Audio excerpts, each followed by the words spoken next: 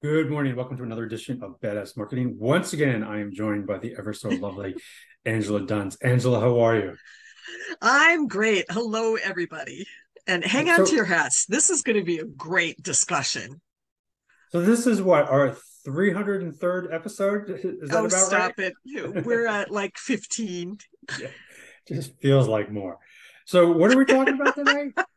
We're talking about content, you know, and whether you believe the content is king or queen or it's one of the serfs. Um, I hope we change your mind by the end of this episode. Which direction are we going? We're going towards kings and queens. Okay. Content is king. Oh my God. So where do we begin? There's so much to talk about here. I, I know it. It's a it's a wide open subject, worthy of several different podcasts. But I wanted to open this can of worms, and I think I think the best place to start, Mike, really is why. Why would you take the time and the effort to commit yourself to content because it is the long game. Yeah. So, you know, when we work with our clients, there's a lot of noise on the internet, and content is clearly a contributor to lots of noise on the internet. And, you know, if you haven't lost your mind and begun to freak out over generative AI, just add that to the mix, right? so, like, you know, there, if you read most articles around content, um, you know, most will suggest that AI is going to replace content writers. AI is going to replace marketing. Um, you know, I've mentioned in recent uh, podcasts that you know AI is clearly, at least in my opinion, this is one I do agree with, um, going to change what search looks like. And you know, we have seen how the Google homepage and search page is changing through the use of their generative AI, and it's taking up lots of landscape. So based on all that, we should just give up, right? We should just throw in the towel, let Google do what they do. Um, or we can revisit content and understand the value of content. and focus your effort instead of you know the whole spraying content everywhere onto every platform willy-nilly how can you do it strategically and effectively yeah, but I'm going to back up a, a, a second and sort of talk about where is the opportunity to differentiate with content. Okay. And where I think that we can differentiate, and, to the best of my knowledge, generative AI is not here that yet, um, or has not gotten to this place yet. But we as humans can be sympathetic. We can be empathetic. We can understand emotions. And for most of our sales, you know, it's about tapping into an emotion, right? Does this product make you feel safe? Does this product make you feel successful? Does this product make you feel rich? Right? These emotions. And while I think that AI can very clearly sort of spit out generic content, it's going to have a really hard time touching those emotions and writing to those emotions efficiently. And what we know is people buy in the market based on emotions, right? yes you know, theoretically, I would buy a car because it's a reasonable mode of transportation and it gets me from point A to point B.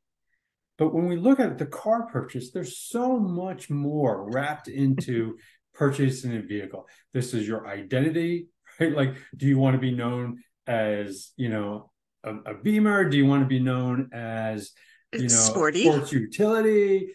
You know, you know, are you flashy red? Are you white? Are you gray? You know, like all these factors are, are you know, a reflection of how you want to feel as a result of your car.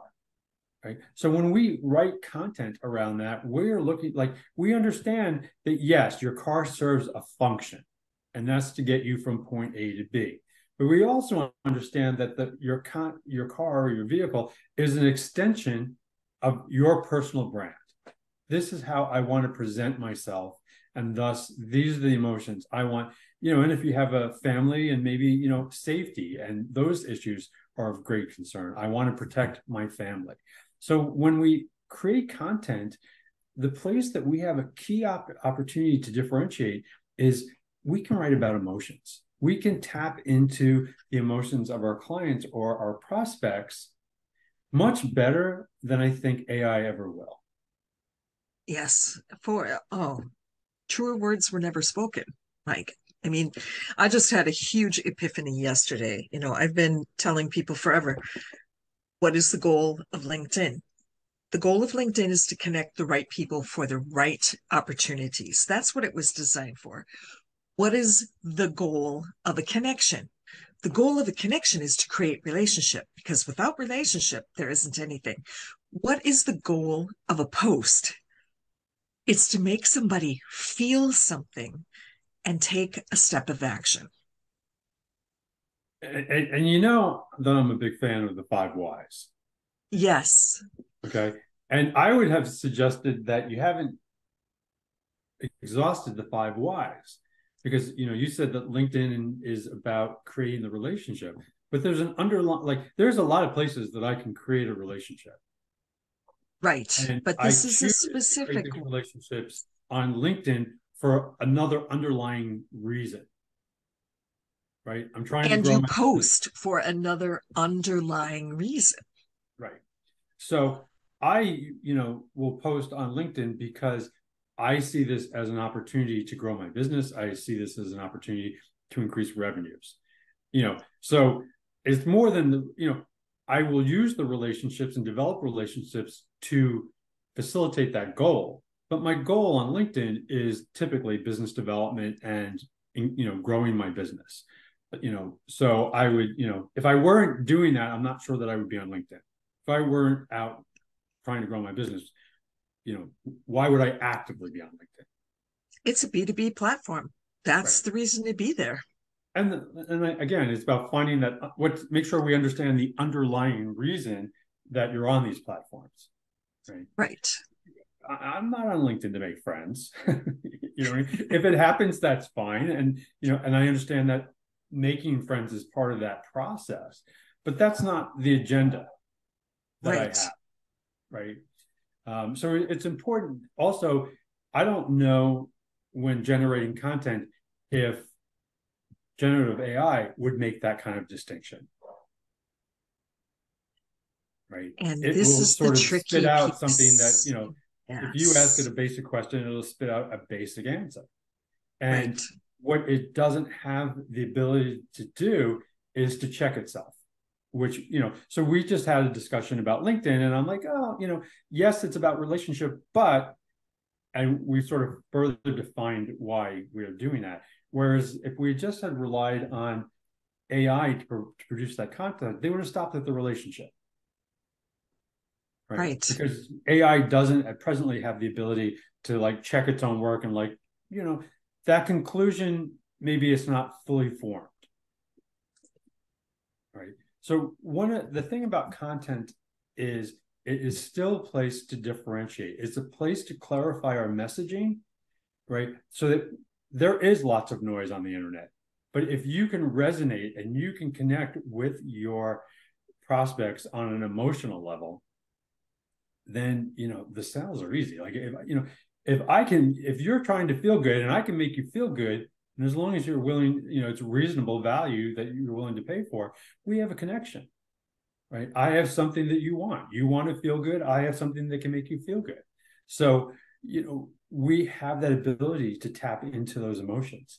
Whereas I think with AI, it's going to maybe it'll run through, you know, the process, you know, the product features. Maybe it'll run through some basic benefits, but it's not going to tap t- tap into emotions. And I think that's a really clear place to differentiate in your content.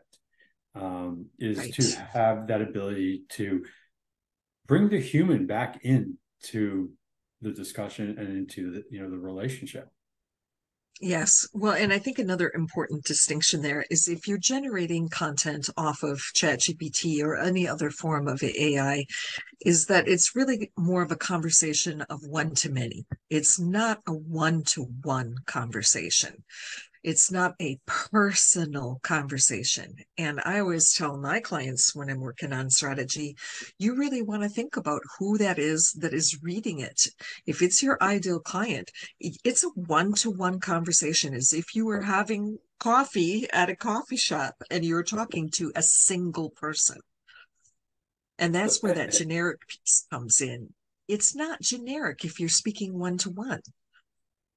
Right. It has to be personalized, and and the the importance of a conversation and a relationship is actually listening to the other party to understand what their unmet needs are.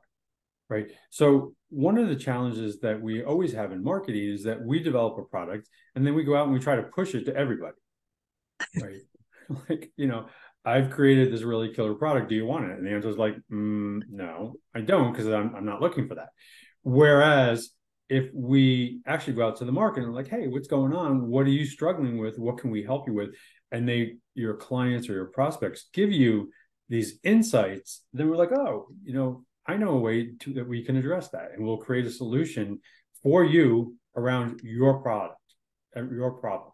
So that, you know, this personalized, customized solution um, versus trying to sell you something off the shelf. And to convey some of that messaging, we're going to rely on content right?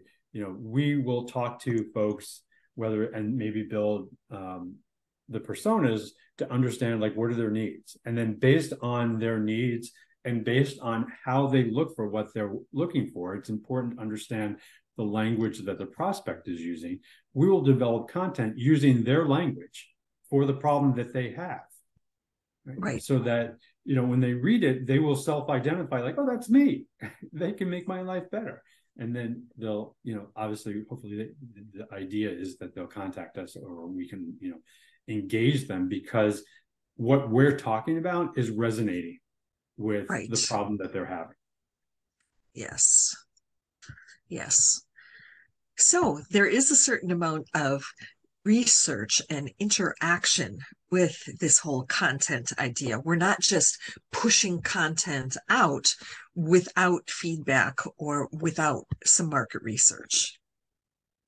I mean, you know, what we have to understand is there's different types of contents that are serving different types of objectives, right? So I may push content because I am looking to you know rank with a certain keyword so i'm going to push content around that keyword hopefully it's still relevant and hopefully it's still connecting but you know the objective there is i want to create visibility around a keyword or, or a problem so i'm going to create content around that which may be a different format or may sound different than when i'm engaging someone directly or if i'm you know like when i'm emailing someone and i know or i am seeking to understand what their their you know unmet needs are so we do use different types of content. Um, not all of it is going to be personalized. Not all of it is going to be customized.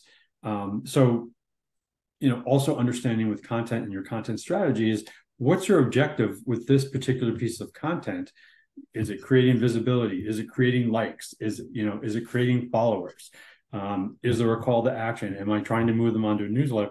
Understanding what the underlying reason of creating this specific piece of content at this point in time is because your messaging and, and, your content may differ depending on what the outcome is if i just want to create likes i'm going to send something you know i mean i can send a happy dog and you know that people will like it and you know it creates and that activity. doesn't necessarily drive traffic well it depends on what business. my objective was if my objective right. was i want to you know i want to get followers and i want to get likes um, you know, and I'm not concerned where they come from. I just want volume. Then, you know, I'm going to post, you know, the meme of the day, the meme of the day, the dog, happy dog, the kitten rescue, whatever it needs to be, if that's my sole goal. Okay. But that would be a different goal than if I'm trying to connect with a digital health client that is struggling with how to integrate generative AI. That's a wholly, you know, a completely different topic and, and a different approach right. to content and a different emotion altogether. Right. They're looking to solve a business problem versus they're versus scrolling the internet and want to feel good or being you know, entertained. Being entertained. Right. Exactly. That's a form of content, but it's a different, it has a different objective. So it's part of this is understanding what was your underlying objective in creating this content. And I can tell you a lot of people create content without considering whether or not they have an underlying objective. Like yes. I have told clients this, produce content, just produce content. For God's sake, produce content. And they do. and then once we get in producing content, then we start to refine it. And like, okay, now that we have you in the mindset of producing content, let's sort of direct this a little bit better so that we have a greater impact or we're reaching a specific target audience, you know. Um, but in the beginning, we're just trying to get them used to producing content um, and creating activity. Yes. So let's back all the way up to the beginning. And okay. let's say that somebody comes to you and they want to start producing content and they have a somewhat fleshed out objective. Um, what's the first step? Um, so, I mean, the first step is understanding, you know, what are you trying to achieve? You know, are you looking to, you know, are you looking to get people to sign up for a newsletter? Are you getting trying to get people to call your office so that you can begin, you know, direct marketing to them? Um, what is your primary objective? So, you know, we want to know like why are we creating this content? Because there's a lot of reasons to create content, and we want to make sure we understand what your outcome is. We want to start with the outcome that you, the desired outcome, and then we'll back into how to get there.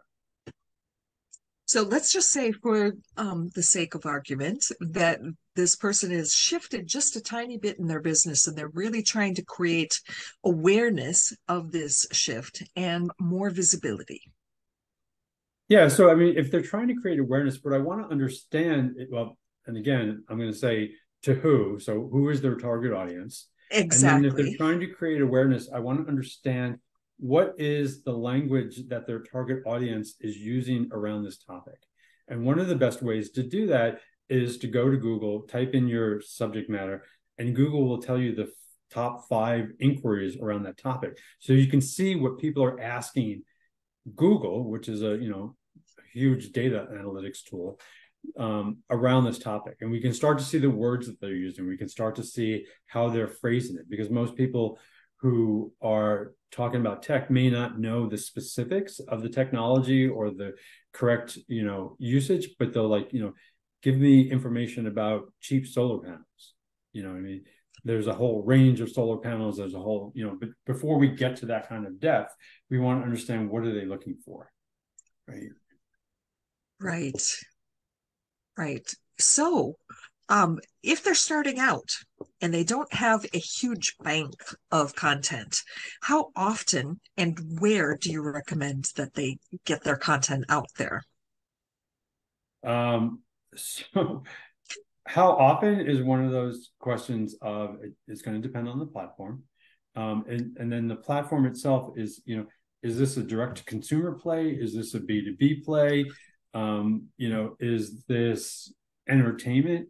So, you know, if you are looking to promote music or something like that, then you want to have your music on podcast, you want to have it on um, Spotify, you want to have it on YouTube, you know, so that people can play that, uh, which is a very different audience and market, you know, platform than if it's a B2B play and I'm selling to businesses where I'm going to be on LinkedIn. Um, for the most part, LinkedIn is going to be B2B. Um, Facebook has a tendency to run towards the consumer side. Um, YouTube, depending on the nature of what it is that you're promoting, um, is either entertainment or information, and it's those it'll serve different purposes. Um, you know, we use Twitter, we use other platforms, um, but if you're trying to reach other businesses, then our primary focus would be on LinkedIn. Right. So it really depends on that whole buyer persona and where they're showing up the most as well. Yeah, I mean, understanding where are they looking for information? Is this a Google search? Are they reaching out to other folks? You know, is this a word of mouth type of referral where you should be networking and not even wasting your time on LinkedIn? It's really a question of, you know, where do they get their information as it relates to the buying decision that they're about to make. And both of us work pretty heavily in the B2B space. Um, so LinkedIn is going to be a fairly frequent use for that, but also the website. So, do you want to talk a little bit about um, posting content to your website? Because that's that's your space. Yeah, I mean, again, for us, it, it's going to come down to what is the objective, and you know, I realize that I have a tendency to recycle themes, um, which I'm about to do. but the idea is, while we think LinkedIn is a great tool, we also don't want to be solely reliant on it because we know that at any given point in time, for whatever reason, we might get bounced or we might lose contacts. And the reality is, if I can't access LinkedIn, I can't contact those people because all my contact information remains in LinkedIn.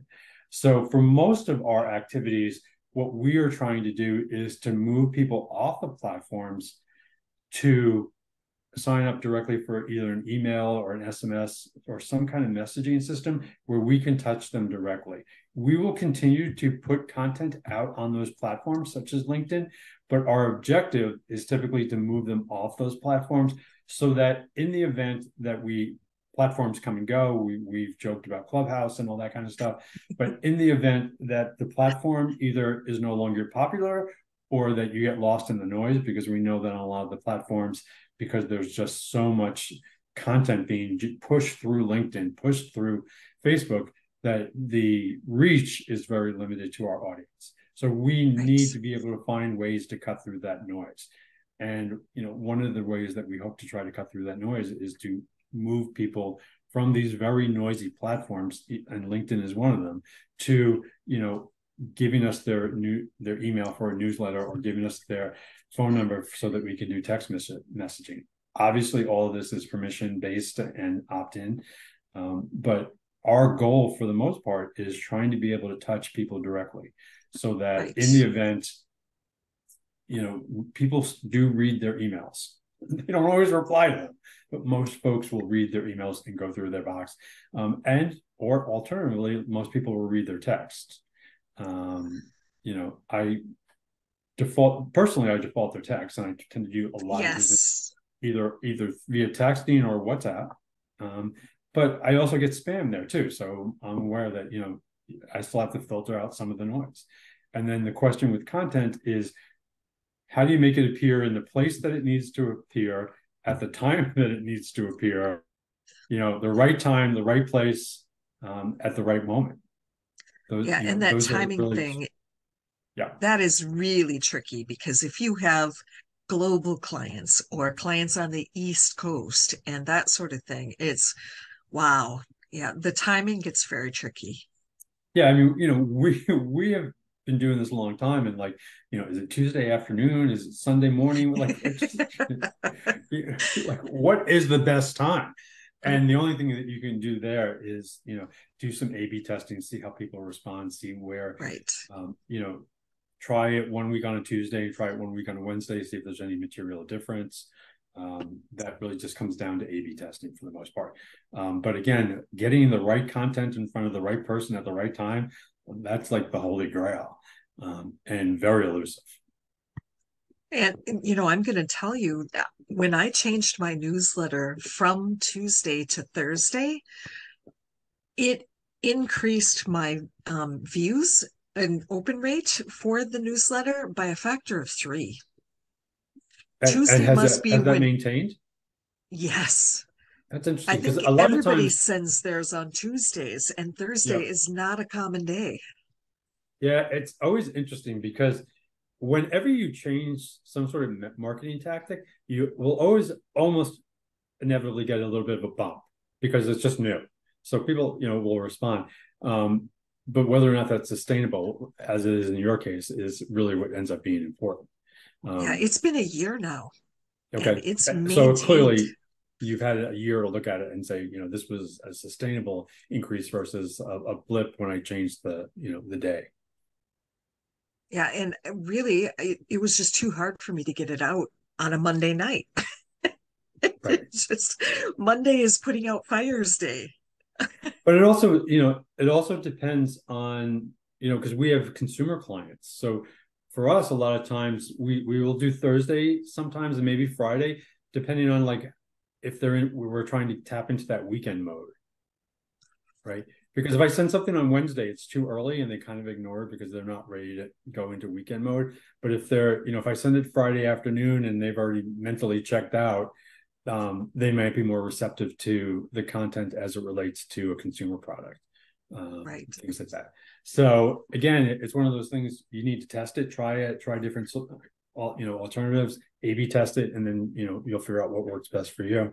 Um, the other thing with regard to that is have you changed the the voice of your newsletter?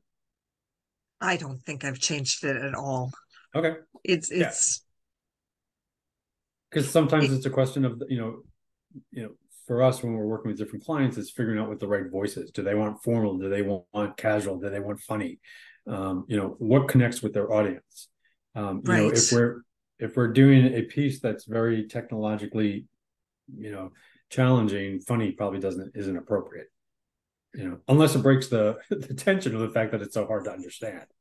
Right? Yeah, and you know, you know, I think I think authenticity is really one of the keys here. You know, especially for a newsletter. A newsletter is just a you know, it depends on the purpose of your newsletter. Also, if your newsletter is really just to inform, then you can have a more formal tone. But if you are the person that is providing the services and what you're trying to establish is trust, then letting some of your personality come out and letting people really get to know you a little bit helps that whole know, like, and trust process. And, and that also comes back to, you know, what are you selling?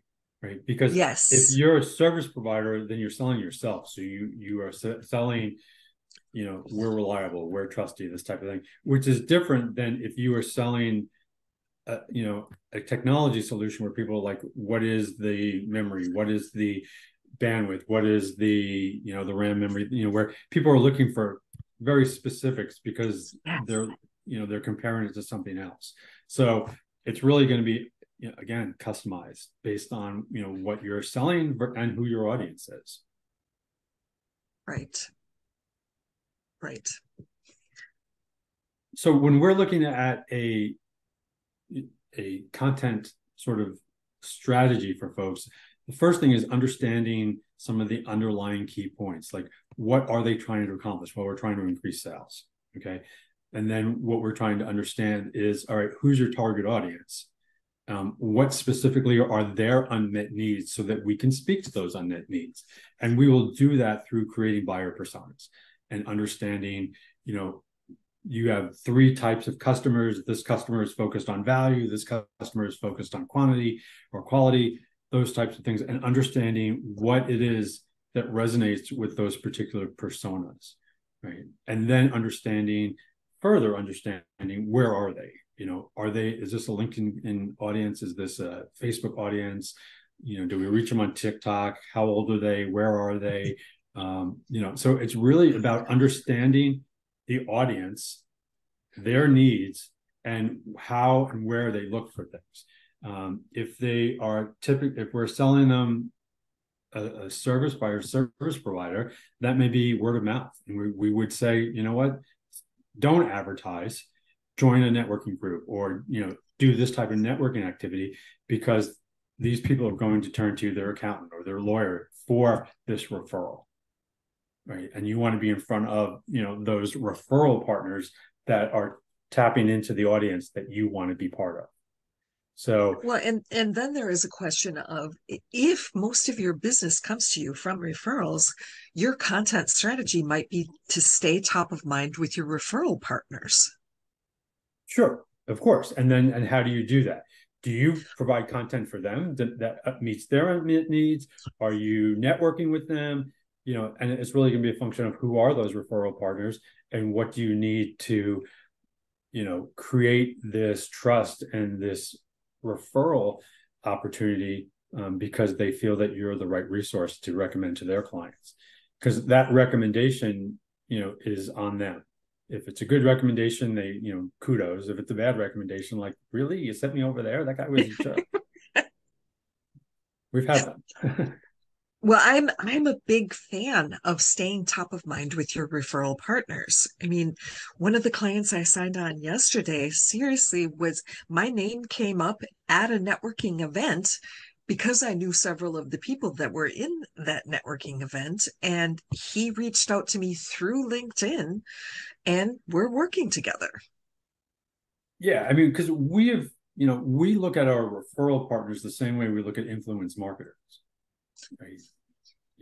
It's they have a built-in audience, whether it be their client base, whether it be um, you know whatever they have whether they have an established newsletter or something like that. So we look at the referral partners like they're influencers. So we want to understand what can we provide to the influencer whether it be you know a referral partner or a social media influencer that will benefit them because they're they're they need a reason to do it other than being nice to us because that's not a good enough reason.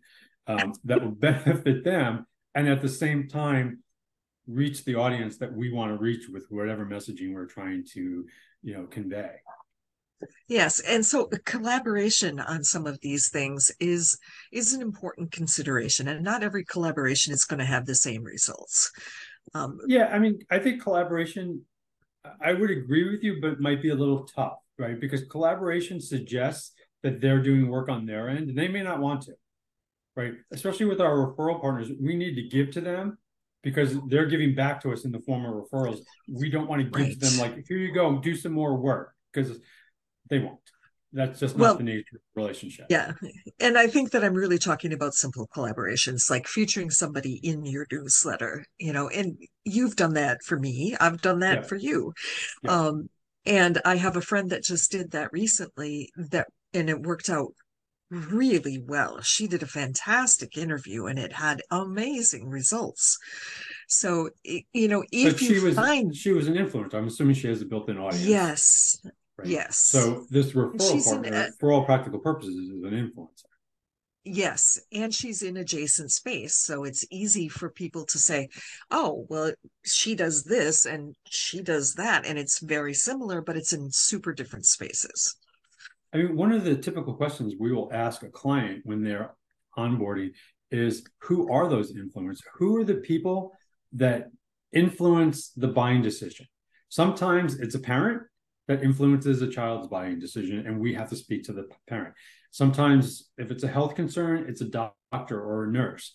Um, more often, it's the nurse because the doctors don't spend a lot of time with them, but the nurse engages them throughout the care cycle. So you know, a lot of times we will target our content towards the nurses because it helps them and it then further reaches our target audience. So understanding who the influencer is in the situation where like who helps your prospect in the buying decision, right?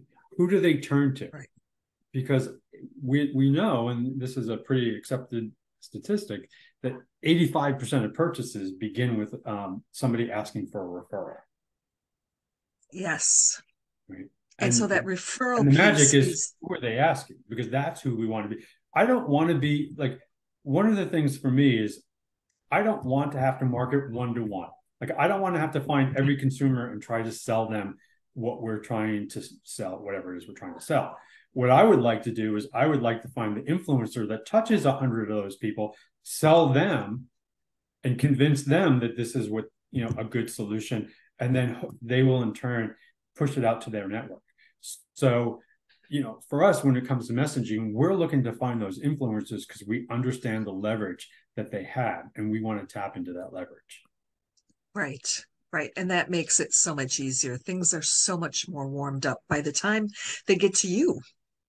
Yeah. I mean, you know, that's the difference between a warm lead and a, you know, cold call because you know, yes. if I call somebody out of the blue and like, hey, do you want to buy our services? And they're like, yeah, we don't know you. Who are you? Right. But if I get an introduction from a trusted resource, they're like, oh, okay. If you know, if Sam sent me, it must be, uh, you know, he must be a good guy because I know Sam and Sam is is you know a reliable partner to me. Therefore, his referral is probably a good source. So that just you know turns it from cold to warm almost immediately. Right. Right. So, the whole idea of creating content for referral partners, that's an interesting concept. But that would seem to be where the efficiency would be.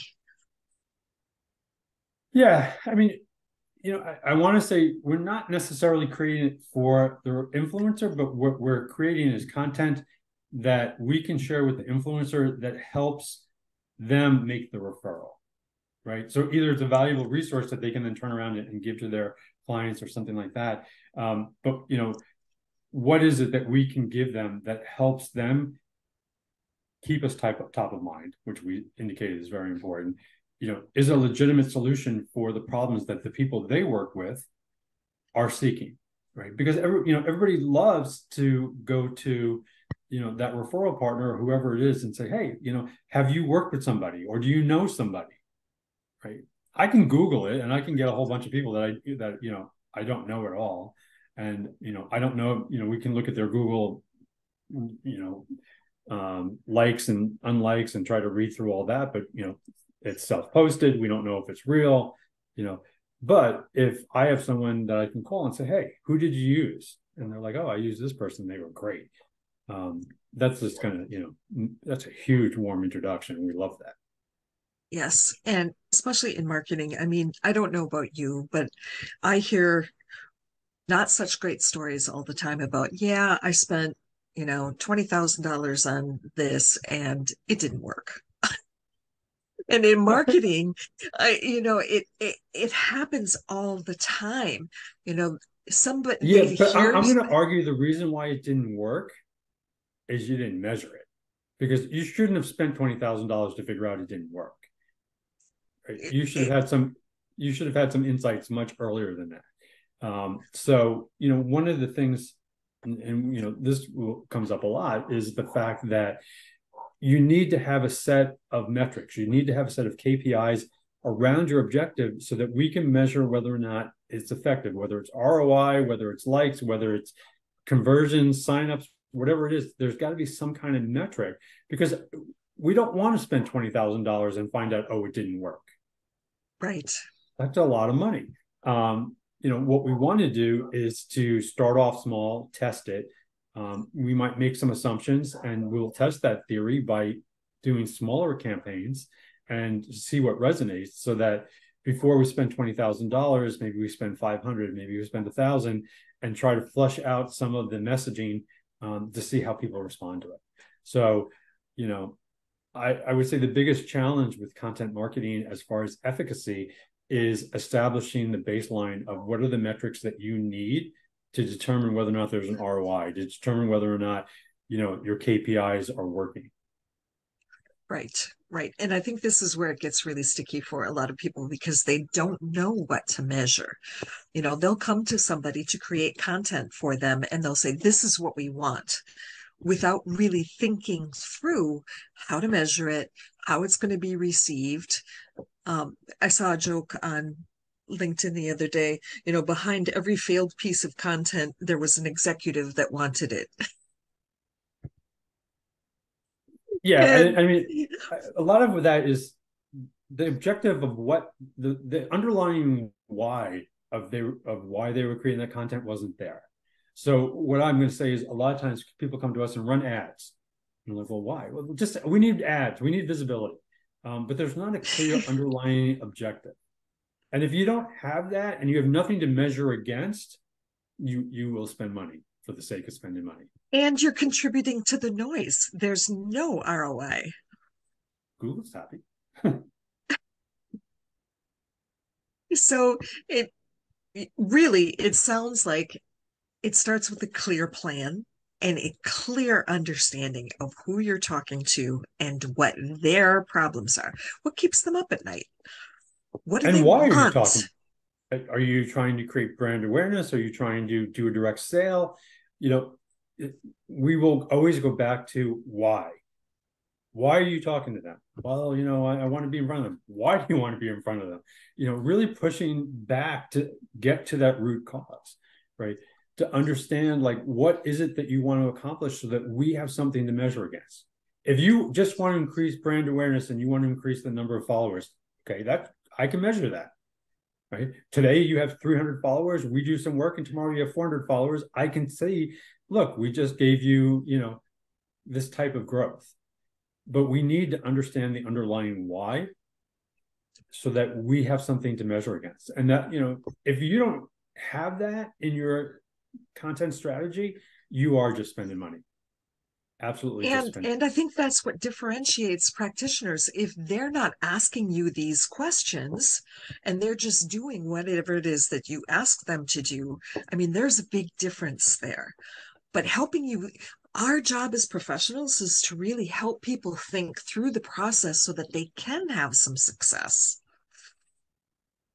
Yeah and, and our job as professionals is to understand what success means to them Yes. And to further define that, because for different people, it may mean different things. For some people, success is signing the new client. For some other people, it's a thousand likes.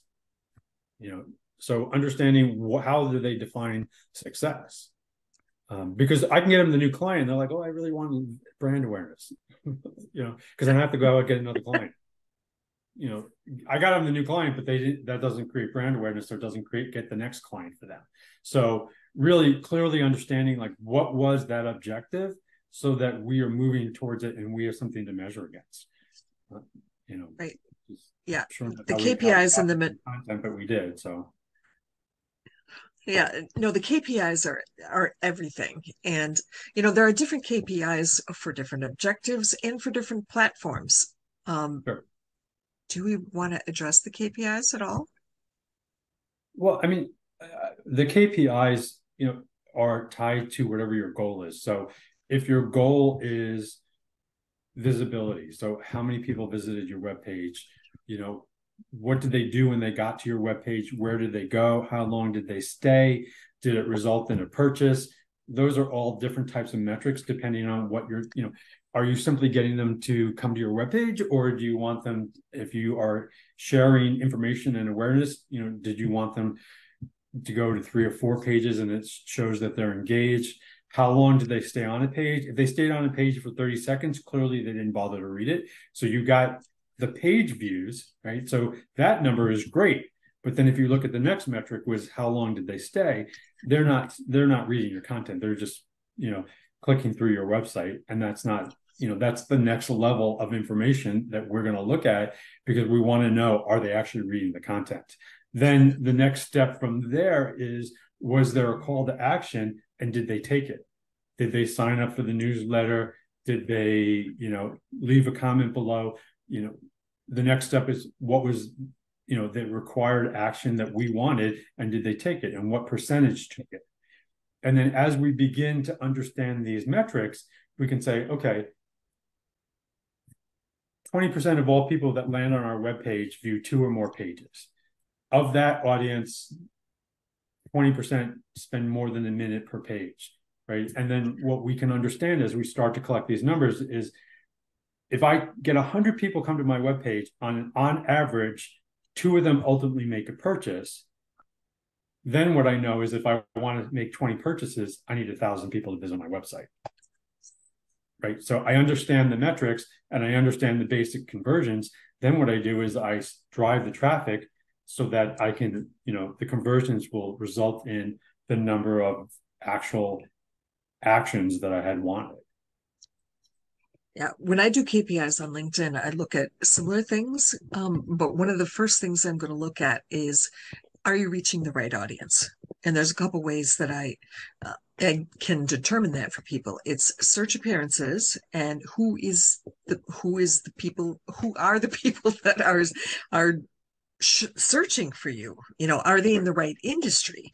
Are they at the right level within the organization? That sort of thing.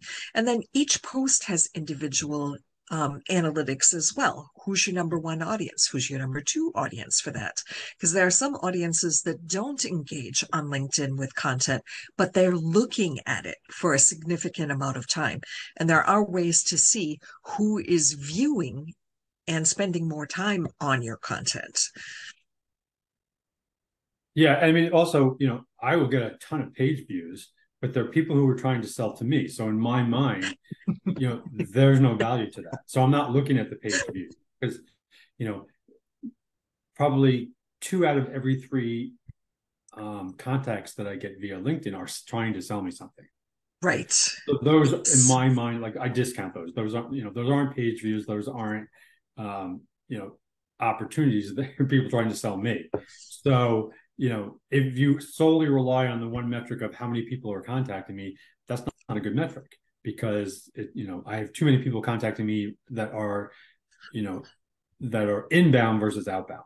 So, you know, what I want to look at is what do I care about, which is, you know, who are the people that I might ultimately engage with, and what does that look like? What does that subset look like?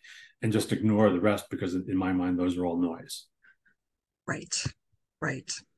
So yeah, it's not just the metrics, but it's the quality of the metrics.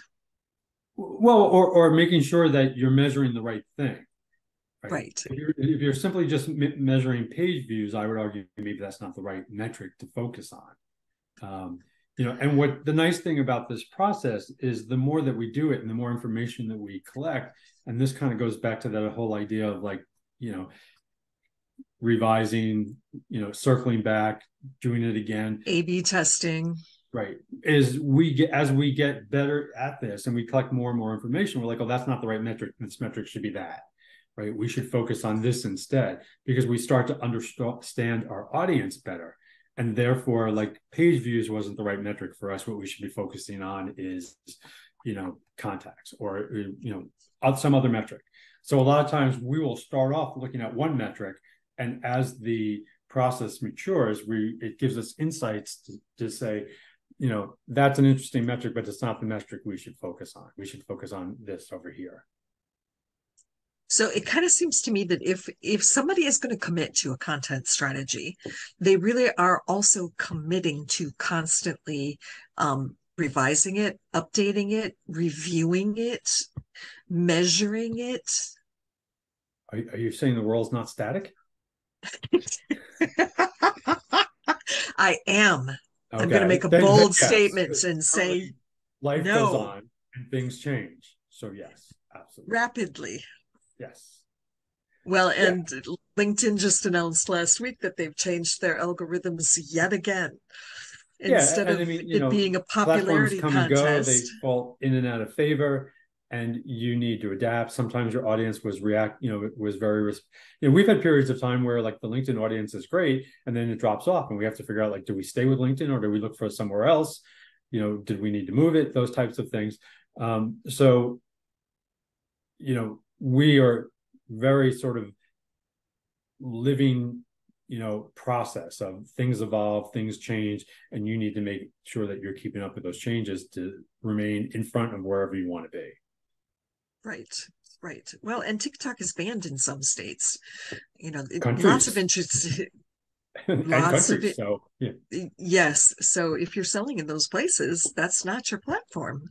Right. Yeah and, and then you know we're starting to see activities that you know like limiting you know certain things within florida and those types of things. So you know we might look at other audiences. Um, and equally as important is those uh, places where they're limited we need to find other avenues because maybe we need to get the information in there and we need to convey that so we need to find other ways um, around the you know the limiting of that information right. which is a totally different topic, which a path we don't need to go down yet, just yet. Um, so maybe to wrap this up, really understanding for content is, you know, who are what is your objective? Who is it that you're trying to reach? What is their needs? And how do you resonate with that need, whether it's their language or whether it's identifying through some sort of personalization or customization a solution that meets that need that resonates with them. Um, so again, what we're trying to understand with content before we, especially in content strategy, is where are they? How do we get to the right person at the right time with the right message? And then I would add, you know, what is the frequency that you can keep up with realistically for, you know, the cadence and how often you're going to be posting things. If it's once a week, be consistent absolutely be consistent. Um, but you know, if the answer is we, you know, our bandwidth says we can only do it once a month and that's not enough, then you need to figure out another way to do it, whether you outsource it or hire someone like us. Um, because you may be able to do it once a month, but that may not be sufficient to remain top of mind in front of your audience. Exactly. It was awesome discussion. always. um, we look forward to further episodes. And if you like what you're hearing, please put comments below. If there's something that you would like us to discuss, um, mention it below and, and we'll try to incorporate it. But otherwise, keep hanging in there, do your content, figure out who it's for, and we will see you next time on Badass Marketing. Bye, everybody. Bye.